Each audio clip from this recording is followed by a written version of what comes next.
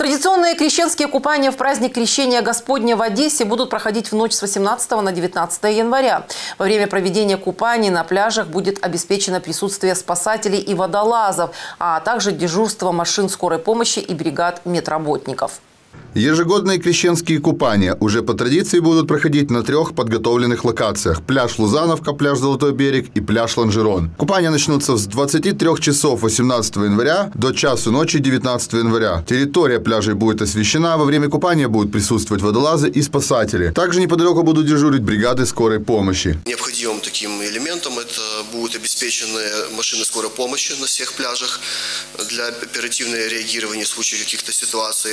А водолазы водолазно-спасательной службой будет обеспечена безопасность уже непосредственно на воде при, при купании. Водолазы пройдут полностью дно, э, уберут все предметы, которые мешают опасной. Также мы начинаем подготовку на выставление постов стационарных, мобильных, то есть усиливаем свою деятельность по обеспечению безопасности гостей города, одесситов, которые придут на этот обряд.